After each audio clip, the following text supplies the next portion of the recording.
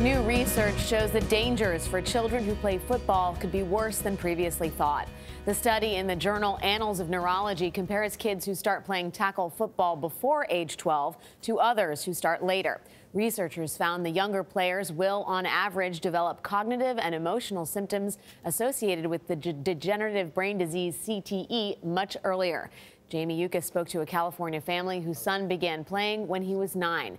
The family blames football for his early death. I loved my son. He, he, he was just a wonderful kid. Gregory Ransom is heartbroken about the loss of his 13 year old son, James. It can be hard to look at these sometimes.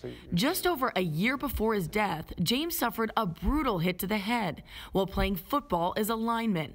After the game, his dad noticed blood around his ear. He was known in the neighborhood as kid would fall down and, and just get right back up and go play, and he didn't he never cried.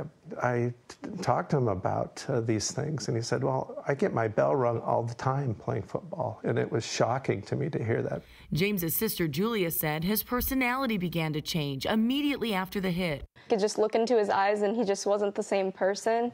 And just you could see that inside he knew he was hurting and he was struggling. So that was really hard to deal with as a sibling, just seeing that happen and not knowing what to do. James suffered from short term memory and vision loss and OCD. He attempted suicide just three months after the hit and was committed into a mental institution for a month. Nearly a year later, he took his own life. He was happy, a friendly kid, compassionate kid. You think this is all because of football? I know it was. A new study published in Annals of Neurology looked at the brains of 246 deceased amateur and professional football players. 211 of them had the degenerative brain disease known as chronic traumatic encephalopathy, or CTE, which can be caused by repetitive hits to the head. The study showed kids who began playing tackle football before the age of 12 began showing cognitive and emotional symptoms associated with CTE an average of 13 years earlier than those who started after 12. I think it's concerning because it was such a, a, a change.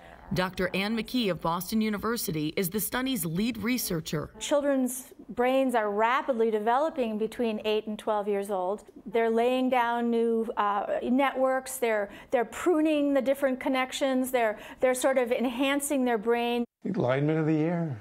There he is, lineman of the year. James. The Ransom family did not get James's brain tested for CTE, but they hope to prevent his injuries from occurring in other children. Yeah, is there something specific you want to see happen with youth football? I want parents and mothers and fathers to know the science and to know what's happening to their son's brains. Because if a mother knows what's happening inside that helmet, she is not going to let her son out on the football field. That was Jamie Yuccas reporting from Orange County, California. The study also showed that for each year er earlier kids began playing football, they could begin to experience symptoms associated with CTE two and a half years sooner. I thought it was really telling that hearing from that neuroscientist about just how vulnerable yeah. the brain of a young child is, especially during the ages of 8 and 10. I can only imagine the anguish these parents have been going through. Yeah. And then what they tell you is, you know, just shake it off when you get your bell rung. That's, That's not yeah. the not that the wisdom way, is changing. That's right. It is changing